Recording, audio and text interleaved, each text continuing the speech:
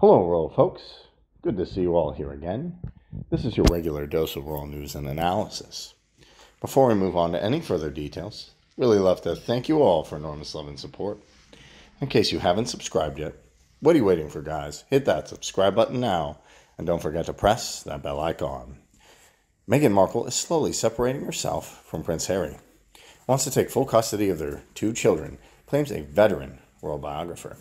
The couple's relationship has came under the spotlight in recent weeks, following a number of high-profile incidents involving them leading up to accusations that they're close to breaking up.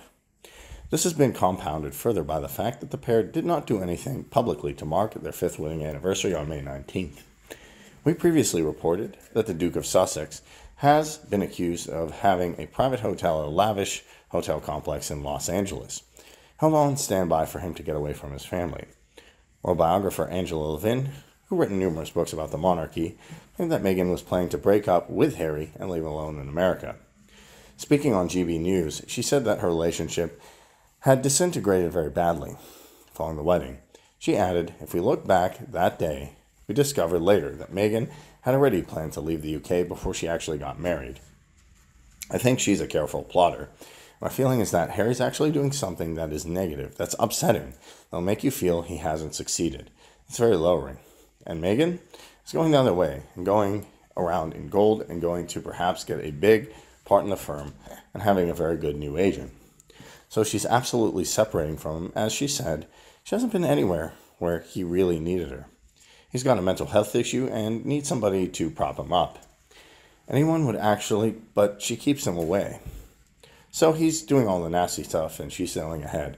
I think that's the beginning of the end for him because she's planning. In my opinion, here's what she's doing. She's making sure that he's in a hopeless situation so that she can get the children and he's completely isolated from his family and friends. The couple put on a public display of affection at the LA Lakers game last month, but Meghan seemed to rebuff her husband's attempt to give her a smooch when the kiss cam spotlighted them.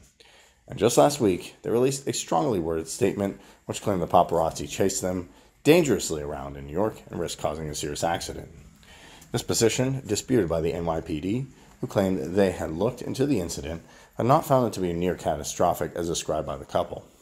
A taxi driver who picked up Harry, Meghan, and her mother, Doria Ragland, outside the 19th precinct around 15 minutes after the group arrived, said photographers tried to take photos and capture the videos during their short time in the car. Sukhrin Singh told the Washington Post, I don't think I would call it a chase. Never felt like I was in danger. It wasn't a car chase in a movie. And Harry and Meghan were quite, seemed scared, but it's New York, it's safe. What do you think about this news? Do you think Meghan's blackmailing Harry and Archie and Lilibet? Do you think Harry has had enough of the vicious game? Write it in the comment section below. Let me know what you think. Until then, I guess we'll just have to wait and see if things turn out to be something after all. Also, if you never want to miss any of my sizzling royal updates like this, subscribe and press that bell icon. It's as simple as that. So until next time, Hasta la vista.